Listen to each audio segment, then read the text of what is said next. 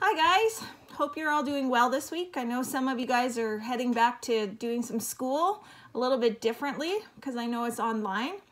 Uh, I miss you guys. I miss seeing you. And uh, I hope that we don't have to be too long before we can see each other and high five each other in purpose and on purpose and play in the playground. But for right now, uh, Carissa and I and Lyndon on another day are going to do some challenges with you so that we can stay in touch. So I don't know how many of you guys know, but we are right now in what's called Holy Week, and that's leading up to Easter. But let's back up for a minute. If we'd all been to church together on Sunday, we would have celebrated together something called Palm Sunday. Now, there's a story behind this, and I would have told you guys this in class, but I'm going to tell you a little bit about it right now. So, Palm Sunday is when we celebrate that Jesus entered Jerusalem. And he, he was riding on a donkey, and people were waving palm branches. They were celebrating him. They didn't really realize what he was coming to Jerusalem to do because we know the story goes further and that he came to die. And that's a sad day when you think about that on Friday. But it's not really that sad when we know what happens on Sunday and that his death was necessary to conquer death for us. And then we celebrate on Easter Sunday because he rose again. But going back to Palm Sunday, what the people would do is they would take big palm branches. Now, I don't know if any of you guys have lived anywhere where there's palm branches. I used to live in California and they had palm trees there. So there were some palm branches. But they would take those palm branches and they would, like I said before, they would lay them down and they would say, Hosanna, Hosanna in the highest. And they were talking about Jesus. They were celebrating him. Well, something that Carissa and I have done for a lot of years is we would take palm branches and we would make crosses out of them. Now, I can't give you guys palm branches. Up at our house, the snow has just melted and we don't have any palm trees. So today, Carissa and I are gonna use pretend palm branches, which is just a piece of paper. And the good news is, is that you guys have a piece of paper somewhere around your house, I'm sure.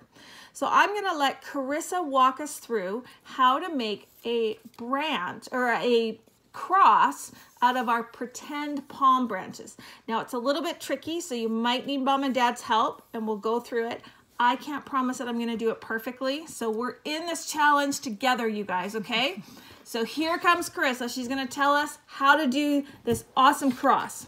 Okay, so the first thing you gotta do is you gotta find a piece of paper and what I did is for ours, I measured one centimeter so that it was not too big, but if you don't have a ruler, you don't, you just try and make it thin. And make sure you cut this way, because if you cut this way, it'll be too short. So I measured it one centimeter and I cut it, and what you're gonna do is you're gonna take it, and you're gonna hold it like this, and you're gonna fold it in half. And make sure you give it a little crease so that you know where that line is. Pretty good so far. And then you're gonna unfold it. Woo! And then you're gonna take what'll look probably like your left side on the video, but you're gonna take your right hand side, and if you don't know what that is, you're gonna ask your parents. And there's a little line from where you folded it, and you're gonna fold it up, and it's gonna kind of make a little triangle. You can see. Okay, and then you're gonna take that same piece, and you're gonna fold it down. So now it's pointing to the ground. And then one more time, you're gonna take that same piece and you're gonna fold it up. Okay, now pause for a second.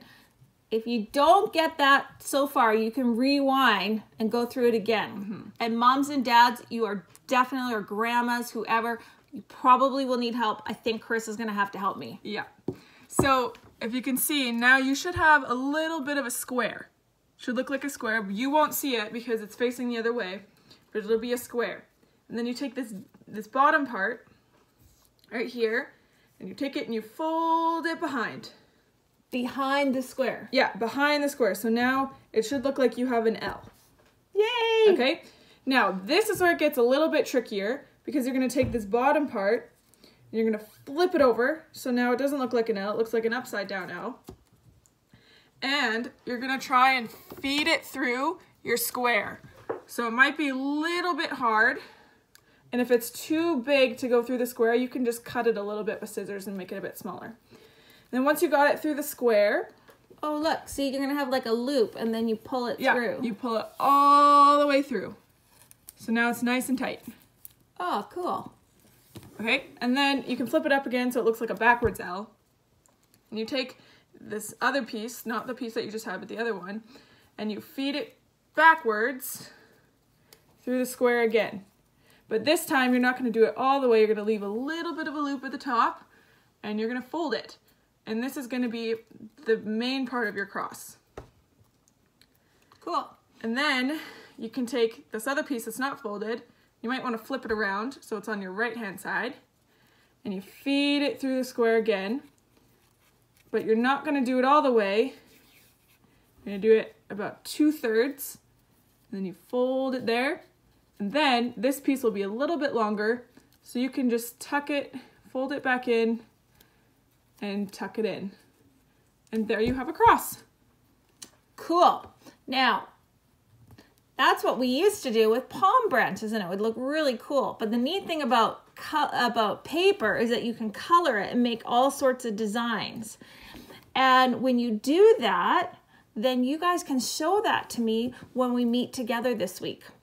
I'm going to be writing to your moms and dads because I know lots of you guys are doing schoolwork when we normally meet on Wednesdays.